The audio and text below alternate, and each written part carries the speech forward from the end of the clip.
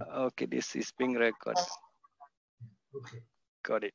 All right, so let's go. Um, so today's topic is basically we want to give an introduction. Uh, I, I, okay, let's not say introduction, an awareness about wills and power of attorney. So um, my name is Prabha, Prabha Pillai. I'm the founder and director of willsmalaysia.my.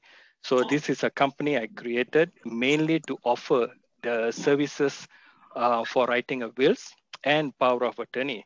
And uh, the, the goal is uh, definitely to present it to the general public at a much lower and cheaper price, as well as uh, the, the comfort of getting it done all from home.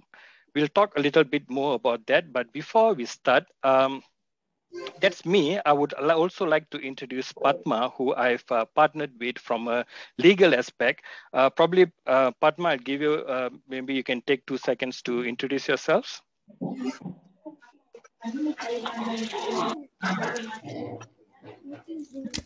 Sorry, I think Padma just uh, went MIA on us. Padma, you there? Okay.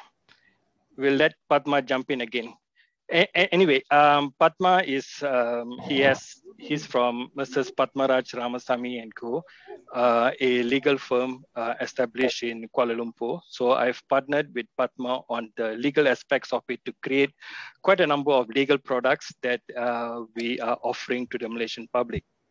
So anyway, before we get deep into into um, the presentation, I just want to take a minute to thank you uh, for the opportunity to Ms. Amaravati, as well as uh, Mr. Mahendra Nathan, uh, to make this uh, presentation possible um, so that we can um, give you some awareness of what wills, the importance of wills and power of attorney is. So very briefly, the agenda is basically going to be um, a brief introduction of Wills Malaysia, and then we'll talk about last will and testament. And um, then we'll pause for some questions if there's any. Then we'll talk about power of attorney. And again, we'll pause for some question. And um, I think mainly you'll be interested to know about a cost to write a will and a power of attorney and we'll give you some contact information if you want to get more information regarding uh, the services we offer, as well as some discounts that we can offer for you to um, join and uh, purchase uh, the products that we have. And then we'll close it off with some questions uh, if there's any uh, um, for this whole session. Um, the whole presentation will take like about 20, 25 minutes, nothing more. I don't plan to keep you all more than uh, half an hour in this uh, Saturday morning um, so that you can enjoy your weekend uh, staying at home. but uh, at least, you know, uh, we'll, we'll give you back um, uh, some, a lot of time in the, in the day. So quickly about us, we uh, launched in Malaysia just over a year now in July of last year. And our we have quite a number of products, but the core flagship product is My Last Will and My POA. My Last Will is to basically write uh, wills, and My POA is basically to uh, create the power of attorney. So we have created a software that we call wizards. So basically these wizards are the smart kind of wizard that when you go through a series of questions and based on the answers, it formulates and creates your legal will as well as your power of attorney. So the unique part of our will, our product, our services is that you can take up to one year to basically try it out. And when you are absolutely comfortable is when you purchase it. So honestly, we are not aware of any other service in Malaysia that provides free trial up to one year. So which is what I want to talk to you about on the awareness of will. But quickly, let's take a look at what our vision is. Something simply put together that we want all Malaysians to be able to have a will without a fuss. What I mean by without a fuss means to make it easier for people to have a will. Because from this is creation of will is something personal to me. I will address it at somewhere along this uh, presentation as well. Uh, it's near and dear to my heart on why I ventured into this business, but I will I will let you know. Our mission is basically to create awareness, talking about the importance of a will, and uh, especially giving it to everyone at a much more affordable price or cost. So if you were to ask me, what are we selling? We are just selling a blueprint for a better tomorrow. So that is our goal. So some facts, just let's look at some facts before we dwell into the wills in Malaysia.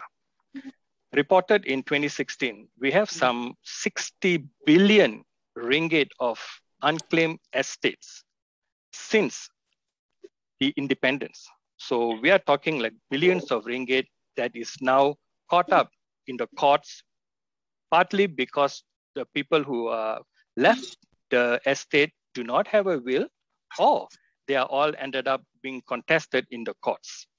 So another reason to think about why we need a will. Let's look at another fact.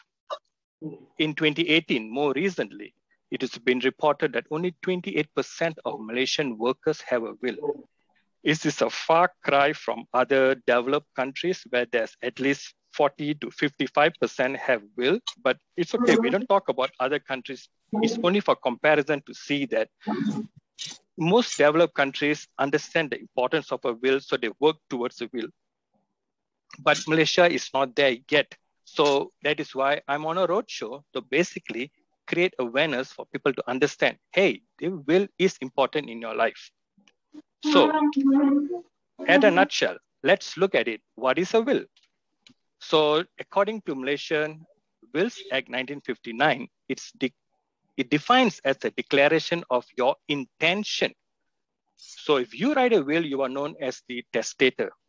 Your declaration of your intention concerning property, any other matters that basically you want to be effective after your death. So again, in short, your will allows you to speak after you have passed away. So I apologize if talking about passing away and death is a taboo subject, but I have over the years overcome this and I want to speak openly about people dying because that's a fact, right? They, those are the facts. You cannot avoid that as part of your life. Once you're born, you are just ticking away until we die. So we might as well get prepared for it, especially not for us dying, but for those that we are leaving behind. Again, as I mentioned, this is very near and dear and personal to me. But let's understand why will. There's many reasons you want to write a will. But if not, if you can't think of all, I'm going to give you at least three reasons. So let's start about you must at least name your executor. So what I mean by executor is you're going to name someone to run with your estate. And what I mean by estate is what you are leaving behind your properties, your bank accounts, your financial records, your car, your motorbikes, everything is considered your estate once you have passed away. So at least you have to name your executor. And to me, this is very important. Guardians for your children, especially in cases whereby, you know, husband and wife out in the highway and then they meet an accident, both of them die. The young children happen to be visiting the grandparents. They are now suddenly left with no parents. Now, I know part of our culture, we take it for granted. Sometimes we assume, oh, my mother will take care, oh, my brother will take care, oh, my sister will take care. I think let's not assume, which is why I'm a strong believer of no assumption. I want to make sure that if I were to die and my wife were to die together, and if I have young children, I must make sure that they are taken care of. And how can I take? How can I make sure of it? So that my uncle, who suddenly, who has not been talking with the family for 10 years, suddenly comes into the family, say, I want to take care of my, of the my kids. So we can avoid a lot of family squabbles, family uh, uh, potential quarrels just by us clearly defining it in your will. Thirdly, if not all, is a distribution plan. So you decide who receives what, including your possessions and sums of money. So that is very clearly laid out. So let's uh, look at two scenarios, right? Let's one scenario, what happens if you were to die without a will? The second scenario is how your, I mean, it's not what what happens to you when you die without a will. You are gone.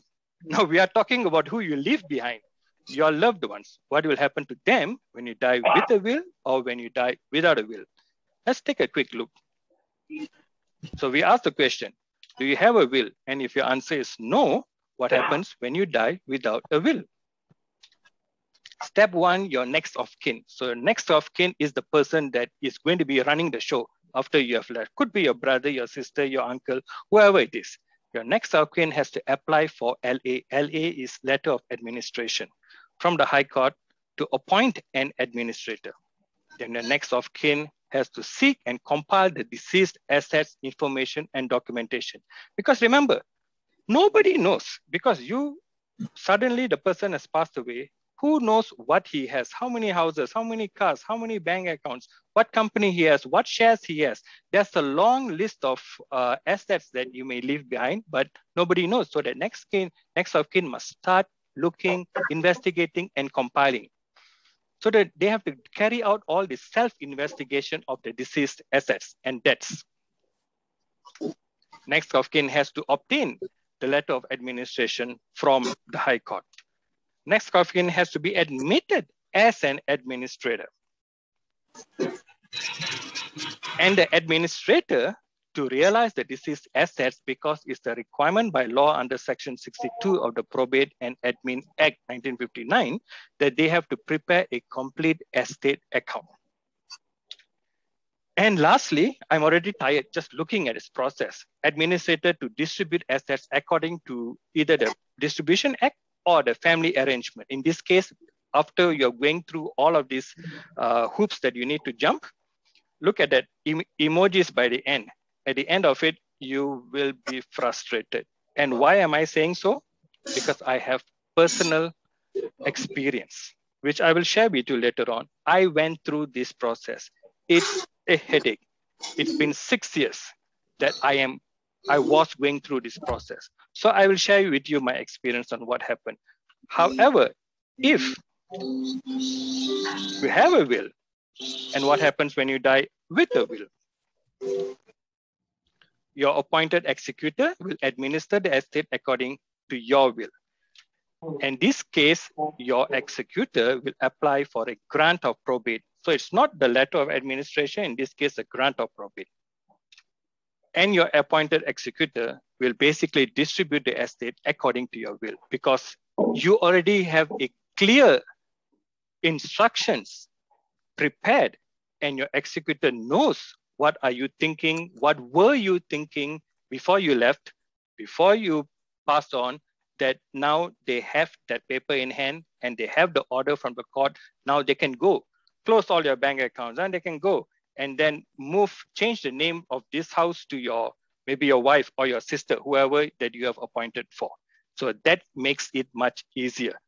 Believe me, I have, I, I've definitely oversimplified it just to show that it is much more easier as compared to without a will. Um, but the process is a much more breathing exercise. So at this juncture, I'm just going to take two seconds and ask the question before we move on. If there's any question at this juncture regarding the will, just so I can take a quick sip of water. Okay, no problem. Um, what we can do next is let's quickly tackle what is a power of attorney. Okay, it's basically a legal document. Okay, and you create a legal document and whereby you grant authority to someone, the person that you appoint as your attorney to act on your behalf. And there's various reasons that you can create a power of attorney. What it does is your power of attorney speaks for you while you are still around. You see the difference with a will? It speaks for you once you are no longer around, but then this speaks for you while you are still around. Now, as I mentioned, there are various reasons that people create power of attorney, but at Wills Malaysia, me and Padma, we worked only focusing on three types of power of attorney. So let's talk about the three types of power of attorney. First one is regarding financial interest. So power of attorney for financial interest. That has got to do with the property, your bank account, anything related to finance. I'll give you an example. Like say you have properties. You have one house, two house, however many houses, but you live overseas, yeah. right? So in this case, you can actually create a power of attorney. You can assign someone the power to basically maybe you live overseas, you have you cannot come back, but you want to sell your house. So you know what? A good example is during this COVID period people who are stuck overseas coming back to Malaysia is a big no-no. And if they come, they got to go through all of this quarantine and everything. So let's not talk about that. Assuming a situation like this, if you have a power of attorney and you want to sell your house, it can be done. In this case, you give it to uh, whoever you appoint, and that person is able to sell your house. This is just one example. Um, but this is uh, power of attorney for financial interests. The second type of power of attorney is talking about business interests. So you have business, maybe one business or two business, or a couple of businesses that you are you are running, but you either you don't have the time or you don't have an expertise to basically run the show. So maybe you only have time for two business, but a third business again you really don't have time. So you give it to someone to basically manage, and they have the authority to run the business end to end. You, you give them full power to take care of that business. An, another good example is again, if you are overseas or you are unable to uh, respond in time or what, that person can actually run the show for you with without any hiccups, legally speaking. So that's uh, something good to have. Thirdly, which to me is a very important uh, power of attorney, is for your healthcare interests. Now, we all want to live a healthy life, but we don't have control over our longevity, but we do have control over our health. However, you can meet an accident, you can end up in a coma, or worst case, you can be mentally unstable. A lot of people are under pressure, and you you you have heard all these stories now during COVID. And, and prior to that, even for however many years, mental um, health is a real issue. People can actually lose their mind. When we say lose their mind, we, we easily, we just say the word gila, but it's not gila, it's a real mental problem. And they, they are people too, right? So if they end up incapacitated, like in a coma, or they're mentally unstable, who is going to decide what happens to them from a healthcare pers- perspective? Who is going to decide when the doctor says, hey, I have to operate on this guy, this option A, this is option B. Who's going to pick A or B? And then the doctor say, I'm going to give you all this medication. Who's going to say, okay, give it? Or the doctor, or you are having doubt about the doctor, say, I want a second opinion who's going to make all the decision for you? We assume husband, the wife will make. We assume the wife, the husband will make. If not, the older son will make. If not, the daughter. That's our lifestyle. We assume things, but you need to take control of your life. So you, while you are in good health, you already tell, in case I become like this, I want this person and this person only to make decisions on my behalf. Again, we avoid all that family squabble. We avoid all of that drama. Sorry to use the word drama, but we avoid all of those. We don't want that. So let's give people, our family, our loved ones, a much more easier life going forward, whether we are there or not. In this case, we have become mentally unstable. So again, our product here is there's no legal jargons, very simple questions. Within 20 minutes, you can easily create a power of attorney. And we are proud to say that we are the first, Wills Malaysia is the first company in Malaysia to offer power of attorney services online. So it's a little different from the will. The will is you can create it online, you can print it out, and then as long as you sign it in front of two witnesses, and the witnesses sign in front of you, it's a legal document. Pack it up and you keep it, it's a legal document. But power of attorney, you need to go a little further. Once you have created it, you need to sit in front of a lawyer, and that's where Padma and his team comes in. Sit in front of the lawyer and you got to attest, do some attestation, pay some regulatory fees, get it registered in the High Court, and then it becomes a legal document. But the first part of it, whereby you usually go and sit with a lawyer and then ask them to create the power of attorney for you, we took that part away. And that is why we made it online so that it becomes so much more cheaper that you can create it at home. Print it out, go and meet the lawyer, just do the last few steps at the lawyer, which reduces your cost so, so much. At this juncture, I'm going to take a sip of water and open up to any questions you may have. Um, Just checking if uh, Padma, are you are you back, Padma? Okay, Padma is not here, but I'll I'll try to answer some questions. Sure, Prabha, basic, can I, can I ask you, can I just jump in? sure, please do. Okay, now, if you, I'm talking on the question of a will. If you have a will written up, and if you want to change the contents of the will at any point in time, is it possible? Is it possible? Yes, it's possible. I will be addressing that in the next few slides. Oh, Uh, Prabha, can you hear me? Yes, I can. Hi, Padma. Okay. I've been trying to say hi the for the I think I don't know how many times, but I kept on not hearing. Okay. Yeah. Uh, all right. Uh, I think the question just now was, can I override a will with the next right can I with the change, newer will and can I change the contents of the will at any point in time? Can, can, can, can. The last, your last particular will will be the will that is uh, referred to in the court. That means the last existing. The last existing, the last one will override the previous one. That's how it works. And then So if I make it today, like six months down the road, I make a new will, right? The new will will take precedence. That's a law. and I must go through the same due process of getting the witnesses to sign and all that. Even yes, so long, yeah, so long as it uh, has the witnesses requirement uh, and all, then it's still valid. It has to be a valid will. I think regarding the valid will and all, Prabha will go through it once more. Are you with me, Yeah. Prabha? Ah, yes, yes, yeah. So uh, I, I will address the question that you asked there, Mr. Okay, I think, Mahendranath. I think let's Yeah. let Prabha, you finish up first, Prabha, then we'll come up. with Sure. question. Sure, not a problem. But I, I, I have a slide just to talk about that one. But let's uh, let's proceed. Yeah. The the the next section that I want to talk about is basically the cost. But before we talk about a cost, before we tell you what we are offering, I just want you to think about when to update your last will and testament. And this is exactly what uh, Ms. Mahindranathan was asking just now. So when to update your last will and test, testament.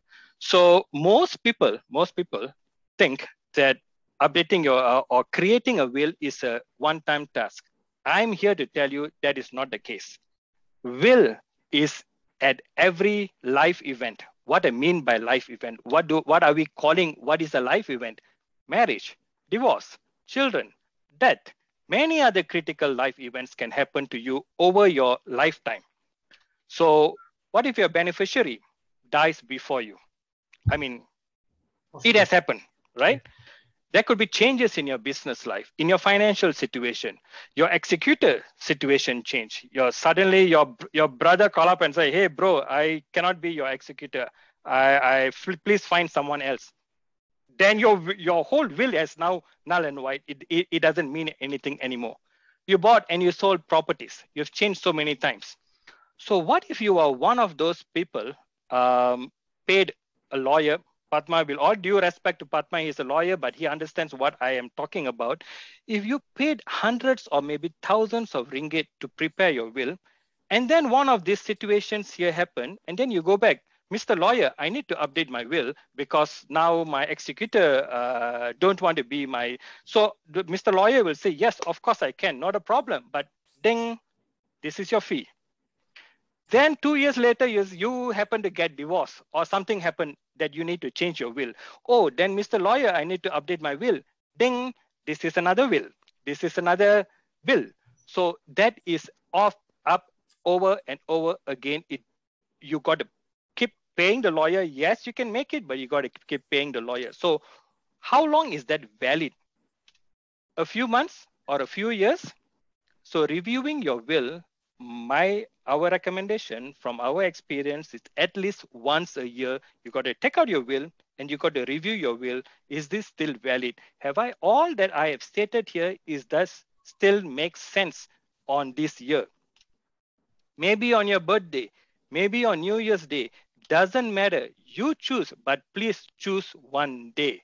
So my last thing that I would say is updating your will is not a one-time task. It is an ongoing task. So at this juncture, I just want to take and share something personal that happened to me, which triggered this whole business. The person you see here is my brother. His name is Ganesan. The one to his right is my daughter and the left is my niece. But uh, anyway, this picture was taken like seven years ago. The girls are all grown up now.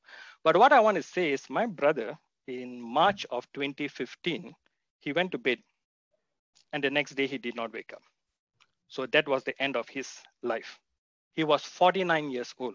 I want to repeat, 4 9. He was 49 years old. He died. He was my executor of my will. So there goes my will. But the he himself didn't have a will, like many Malaysians. Hey, I'm only 49. Why do I need a will? I'll think about it when I'm 60 years old. No, no, no, no. That is uh, not the right attitude. The moment you are on your feet, your 20s, your 30s, you have a family, you have a job, start thinking about a will. And that's the right attitude. So my brother's experience, he passed on six years. He died without a will. Six years later, only early this year, we finally got his property transferred to the league to the other person's name only this year six years later. So i had a very bad experience. And of course the experience was compounded with all this covid and all this other stuff that happened. However we had to go through the uh, la go through uh, discovery learning experience what the heck is all of this? Which is why when i shared that that different uh, slides just now that was uh, what triggered me to say that hey there are many people like me. I've spoken to many people after that and realized a lot of people don't have a will and they just take for granted. Either they're going to live forever or it won't happen to me. So anyway which is what i meant earlier on this is personal to me. So i'm actually on a crusade to trying to educate the people our indian people as well because a lot of our community people take things for granted. I'm going to be upfront. I'm a Malaysian Indian myself. So telling this, I have no shame. A lot of people in my family also don't have a will. Say, I will think about it later on. So it's always assumed that we'll be fine until it isn't. So coming back to the cost. If you do a simple Google search, how much does it cost to write a will in Malaysia? This was done in uh, in uh, google.com.my. It's anywhere if you use a lawyer between 1500 ringgit to 8000 ringgit, depending on the complexity of the will. But you can see how expensive it can get. And there are three types of uh, way we can write will. One, we do it online. Or two, we get a lawyer to write a will. Or thirdly, you talk to one of these uh, will writers like uh, Rockwills and all of those guys. So what we have done here at Wills Malaysia is we took the will writers activities and we converted that into computer program.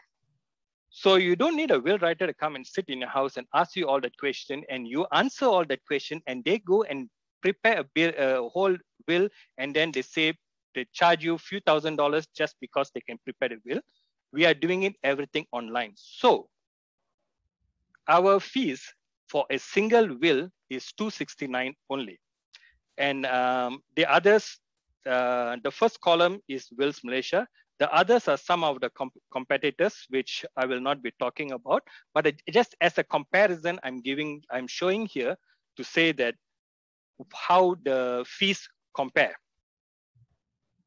And we also have a spouse will. So when you, as the main person, creates a will, you can get a spouse will for 40% off. So it's only 161 if you create a spouse will. Our power of attorney starts at 349 plus the legal, um, uh, the all the the stamp duty, the registration fee, stamping in uh, what you call that, you need get it re registered in the High Court, and our lawyer attestation fee. It all comes up to about 550 ringgit for one will. Uh, sorry, for one power, power of attorney. And we can go up to three power of attorney, like the ones that I explained just now. And if you take more than one, definitely you get discount on the second one, you get discount on your third one. But we also offer lifetime custodial. Again, what does will custodial means? So you have written your will, you have this paper all signed up, but then you got to keep it safe, right? Flood, fire, robbery, so many things can happen, or you just misplace the whole will. Uh, what we what we offer is you pay a one-time fee, just a one-time fee of 330. You send it after you signing and all, you send it to our lawyers, and we will safeguard that will for you. Each time you update it, send it to us. There's no extra charge. You pay once, we'll take care of it for lifetime. So when things happen, when you pass on, your executor or your next of kin will contact us and we will uh, hand over the will to you. So basically it's safeguarding it. And all the other services, this is the one that I was talking about, the will subsequent updates. It's free because you're doing it online you go and update your will every year, every month, every now and then, whenever you think, I just bought a house. Okay, what, what I need to do? Yes, I need to update my will. So you log on to Wills Malaysia, you go there, okay, I already bought this house. Now this house is under my name. In case I were to die, I want to give this house to my daughter. So plop, plop, plop, plop, plop, put it there, print out your will, maybe at the end of the year or whenever, and then get it signed again, and you are good. So that's a feature and we also offer all of this for free. Funeral wishes, we have a document that is already there. Organ donation, email parting wishes. Email parting wishes is a feature that we have in the system whereby if you were to pass on, you can already pre-write emails, pre-written emails to whoever you want, how many people you want. You can write pre-written your farewell message, your goodbye message. You can pre-write that. And then once you have passed on, your executor or somebody that you are going to name will go into the system and click one button. And that's all they're able to see. They can only need to click one button and that email will be blasted out to whoever you have written. They will all get your message. So not only email, you can video record and attach it to your message as well.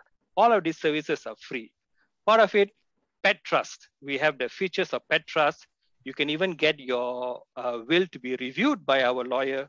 We have various discounts, family discount, military and police discount, senior discount. If you're more than 65, you get 30% off. Yes, 30% off. We have other services called print and ship. If you don't have a printer, we can print it for you, bind it for you, and we can send it to your house. But of course, right now, that services is suspended due to COVID. And then we have one that is called executor list. Executor list is the one that I was talking to you about is that, you see, nowadays we have so many um, accounts, bank accounts, we have online accounts, we have uh, uh, financial services, you have your own doctor, you have a list of the uh, lawyers, you have your insurance, you have your EPF, you have your so many things you build up over your lifetime that you have some document in your drawer that shows what is this, like some of the benefits in your company, your HR benefits that your family may not even know.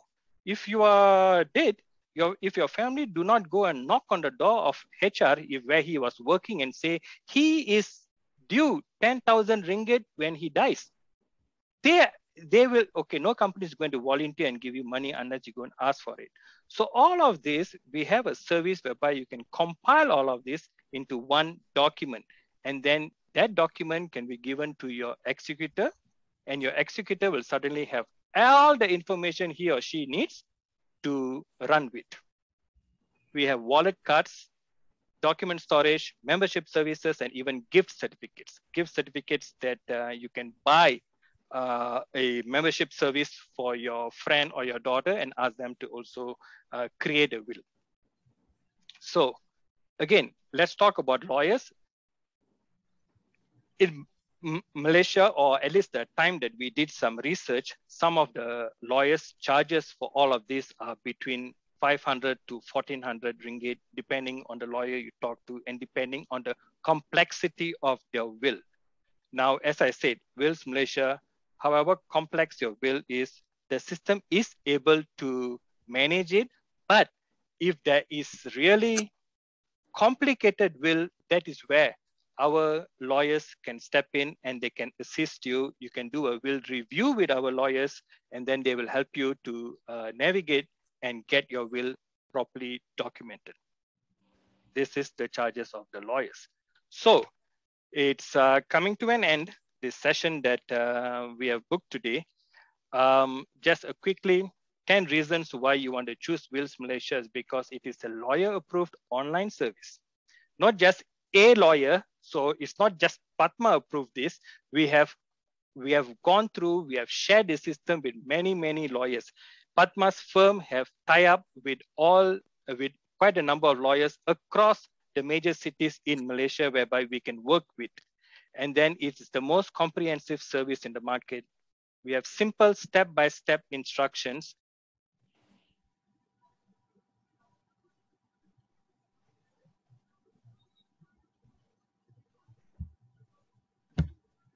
Your audio, uh, Oh yeah. Prabha, your audio, Prabha.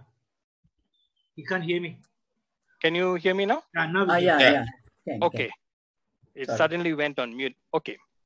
I think that's a hint. Is that not? No, no, no. It's not. but anyway, yeah. Coming to it, uh, it uses very plain and simple language. Uh, The reason we say plain and simple language is because nobody wants to deal with legal wordings. Nobody, because only lawyers understand legal wordings. I don't. I'll be the first to admit, which is why I have Padma. He will read the lawyers, he will advise me. So, and then I, again, I was saying save hundreds of ringgit in legal fees and you can update unlimited free of charge updates. It complies to our Malaysia Wills Act 1959. Our power of attorney complies to the Power of Attorney Act 1949. And it's free to try all from the comfort of your home. This is why we say choose Wills Malaysia. So for today, for um, more information,